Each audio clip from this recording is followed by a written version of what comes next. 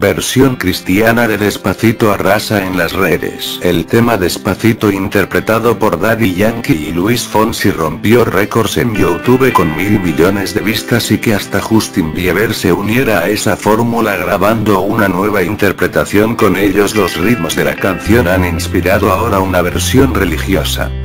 En el vídeo que la está haciendo famosa, dos jóvenes llamados Luisto y Andrés, cuyos rostros aparecen ocultos detrás de gafas de sol, aparecen sentados en la parte delantera de un automóvil mientras en la parte trasera otro joven los acompaña con una guitarra.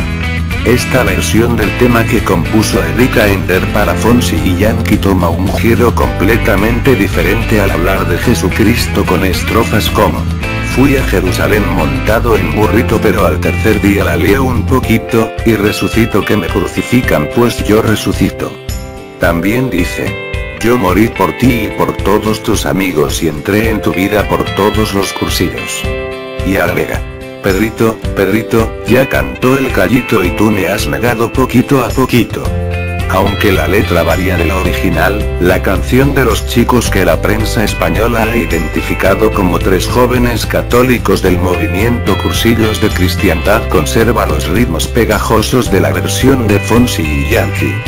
A juzgar por la cantidad de vistas que está teniendo su vídeo de resucito, un millón y contando en YouTube, si Luisto y Andrés no eran un grupo antes, bien podrían estar rumbo a serlo.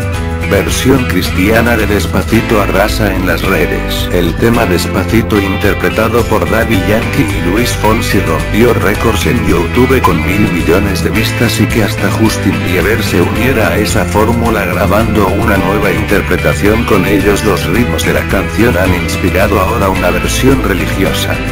En el vídeo que la está haciendo famosa, dos jóvenes llamados Luisto y Andrés, cuyos rostros aparecen ocultos detrás de gafas de